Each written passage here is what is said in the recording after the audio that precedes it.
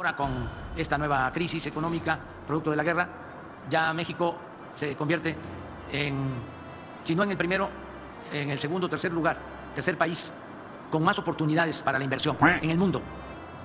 Acabo de tener ese informe financiero con lo de Rusia eh, y con lo que está sucediendo en otros países que se consideraban como economías emergentes, muy propicias para la inversión en el mundo. Ahora ha habido un desplazamiento y afortunadamente nuestro país está en los primeros niveles. Entonces, esto va a significar más inversión, más crecimiento, más empleo y por lo mismo se va a reactivar por completo la aviación comercial y de carga.